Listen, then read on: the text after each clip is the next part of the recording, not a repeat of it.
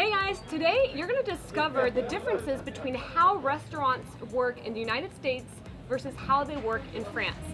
Hi, this is Rochelle DeMeo, your native French instructor from Baltier Academy.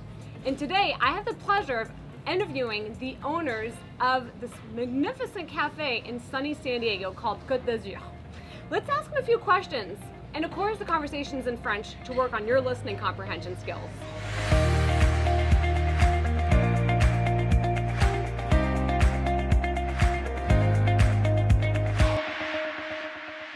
Alors bonjour, je suis ici donc avec Christophe, Natacha et bébé Victor qui se joint à nous.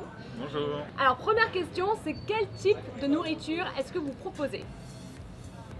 Alors on propose euh, principalement c'est la, nourriture française hein, et euh, méditerranéenne. Donc Ah. euh, on souhaite euh, introduire aussi, parce que moi je suis grecque d'origine, et euh, j'ai envie d'introduire aussi un peu des plats méditerranéens, du soleil, et euh, d'où le nom Côte d'Azur aussi. Donc euh, une cuisine éclectique on va dire. Ah, c'est super ça.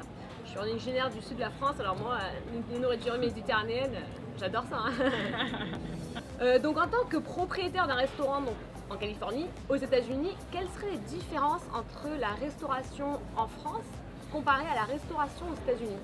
Euh, la différence, c'est euh, les pourboires. Ici, il y a pas mal de pourboires. On a aussi euh, le service. hein. Ils sont très, très attachés à la qualité du service qu'on leur rend. Et les clients reviennent vraiment, s'ils ont eu un très bon service, ils vont donner des très bons pourboires et ils vont revenir. Faut rajouter aussi qu'ici, le- le- l'emporter est beaucoup plus démocratisé qu'en Europe. Euh, par exemple, si, euh, ce qui a été le cas pendant Covid, si les restaurants sont fermés, bah, les clients commandent toujours, quoi qu'il arrive, par différentes compagnies euh, pour la livraison à domicile de, la nourriture, donc des plats, des plats emportés. Donc, en gros, ici, les restaurants sont obligés de s'adapter à la demande, c'est-à-dire qu'en gros, tous les restaurants proposent de l'emporter, proposent aussi du sur place, évidemment, mais on a vraiment vu cette différence pendant Covid. Euh, les, les clients sont vraiment habitués vrai à proposer, à, à proposer, à, à commander directement via des applications ou même venir ici en pick-up pour du to go. Pour eux, c'est quelque chose de normal, ce qui n'est pas forcément le cas en France. D'ailleurs, euh, euh, chez eux, euh, ils disent euh, qu'est-ce qu'on, nous on dit qu'est-ce qu'on va manger ce soir. Eux, euh, c'est qu'est-ce qu'on commande ce soir. Donc, euh, c'est vraiment une, euh, une différence euh, très très euh, prononcée, Mm. on va dire. Et euh, niveau service clientèle, est-ce que vous avez peut-être pu observer des différences ou quelque chose que vous avez peut-être pu voir euh, qui est un peu différent par rapport à la France? Service clientèle, les gens, les clients reviennent majoritairement parce que bah, déjà la nourriture est bonne, heureusement, et aussi parce qu'il y a le côté friendly, donc ça, ça ils adorent. Euh, S'il n'y a pas ce côté-là, ils ne reviennent jamais. Ça c'est sûr et certain. Et en gros, la, la grosse différence, c'est qu'ici, les, les serveurs sont vraiment à la disposition du client, et vraiment les, le service doit être adapté aussi en fonction de ça. C'est-à-dire qu'il y a la food, il y a aussi les clients qui attendent quelque chose en retour de la part du serveur ou de la part du, du propriétaire par exemple. Donc on est là pour ça. Le client est roi quoi. Exactement, le client est roi. Et là pour le coup ça se confirme vraiment ici. Petite pause. Hey guys, if you're getting value out of this video, give it a thumbs up. But you might want to check out this other video that I'm linking above to show you how to order in a French restaurant and what you should learn how to say. Because as you may know from the series I'm doing on how you can practice and use French in sunny San Diego, in California, or pretty much anywhere that you live, one of the tools that I provide you with is where to go to use and practice the language. So you definitely want to know how to order. So check out this video and let's continue our interview. We have a few more questions. Bonjour. Ça va bien et vous? Oui, c'était pour euh, savoir si vous avez décidé euh, par rapport à votre menu. Ah oui, euh, alors est-ce que je peux avoir une salade verte? Ok, salade verte, Voilà, avec euh, steak frites. steak frites. Ok. Comment vous voulez votre steak frit Euh, à point. À quoi Super. Vous voulez de l'eau Oui, de l'eau pétillante, ce serait génial. Super. Ok, je vous rapporte ça de suite. Merci énormément.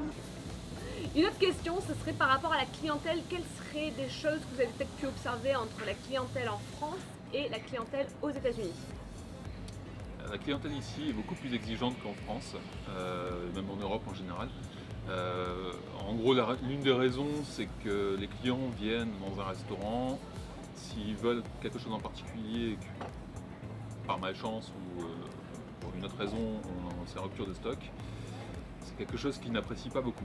Donc euh, ils peuvent être amenés à partir, ce qui n'est jamais arrivé, mais bon, ça peut Ou à mal noter. Bah, maintenant avec euh, les. euh, Avec les réseaux sociaux, les réseaux. Yelp ou Google, il peut arriver de temps en temps qu'on ait une review qui ne soit pas forcément justifiée, mais qui justifie parce que le, le plat n'était pas disponible ou, ou parce que voilà, on était en rupture de stock. Voilà. Ouais. Bon, nous, en particulier, en plus, on fonctionne en flux tendu, donc euh, parce qu'on essaye justement de ne pas avoir trop de pertes. Et puis, euh, donc des fois, il peut arriver que, euh, notamment dans les pâtisseries, euh, qu'on n'en a pas. Donc, et, euh, et les clients sont, sont, sont mécontents. Ils sont mécontents, mais c'est surtout euh, qu'on a connu la période Covid, que tout le monde a connu d'ailleurs, en particulier pour les restaurants, ça a été très très très compliqué, donc il a fallu qu'on fonctionne euh. En différemment, en flux tendu, qu'on évite quand même de, de- gaspillage, hein. gaspillage. Donc tout ça a été compliqué à en compte, surtout que de temps en temps, on a, on a- le restaurant peut être full, et il y a des jours on va se retrouver avec nettement moins de clients. La raison euh, se justifie par Covid, se justifie par plein de, plein de compagnies, plein d'offices qui sont, qui sont fermés autour du restaurant. Donc c'est un peu compliqué de temps en temps à gérer. Bon, alors, dernière petite question pour vous. Alors, quelles seraient des différences assez prononcées entre les restaurants en France et les restaurants aux États-Unis? Non, une des, une des grandes différences, c'est effectivement que euh, il n'y a pas trop en fait de convivialité. C'est-à-dire que eux ils viennent, ils mangent et, euh, et ils s'en vont. Nous on a tendance à prendre le temps. On peut passer 3-4 heures à table.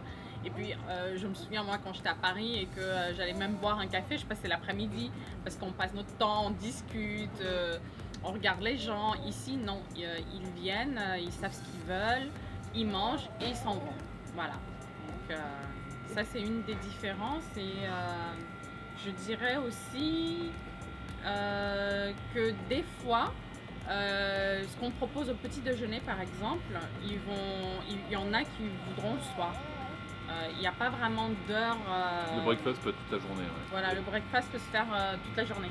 Et une des particularités aussi, c'est que ce qui n'est pas le cas en France par exemple, ou très peu, c'est qu'ici ils peuvent plus customiser leur plat. C'est-à-dire qu'on propose un plat, je vous donne un exemple par exemple avec euh, euh, des oignons. Ici, ils vont pas prendre d'oignons, ils vont prendre des olives. Euh, ils vont pas prendre d'olives, ils vont prendre des jalapenos. Enfin, voilà. Et tout ça fait que de temps, un- en tant que Français, c'est un peu particulier. Maintenant, c'est adapté évidemment. Mais oui, ils aiment bien customiser leur plat. Donc euh, on peut proposer sur le menu un plat et dedans, bah non, ils veulent pas ça, ils veulent pas ça, ils veulent autre chose. Donc qui fait que voilà, que adapté. C'est voilà, assez facilement. Et puis, euh, je sais pas, je pense que ça doit être particulier à la Californie, mais ils, ils mangent très, très, très, très tôt. C'est-à-dire que ici, le dîner euh, limite. euh, 3h30, 4h. 3h30, 4h. Voilà. Ils commencent déjà euh, à venir pour le dîner. Voilà. Donc, euh, Ce qui explique pourquoi les restaurants ferment relativement tôt par rapport à la France. Euh, Ici, à 8h, 9h, les restaurants sont fermés, c'était quelque ferment. chose qui m'avait frappé. Ouais. Et alors qu'en France, c'est plutôt minuit, voire 1h du matin de temps en temps. Mm. Enfin, en particulier sur Paris. Je ne sais pas si c'est dans toute la France, mais en tout cas, les restaurants en moyenne en France ferment plutôt aux environs de 10h, 10h30, 11h. Ici, à 8h30, 9h, Ouais, les plus, restaurants il y a sont fermés. personne. ouais. So, guys, I'm gonna link all their contact information below so you can come and practice French right here and try some authentic dishes you're not gonna wanna miss. Please subscribe to the channel. I appreciate it.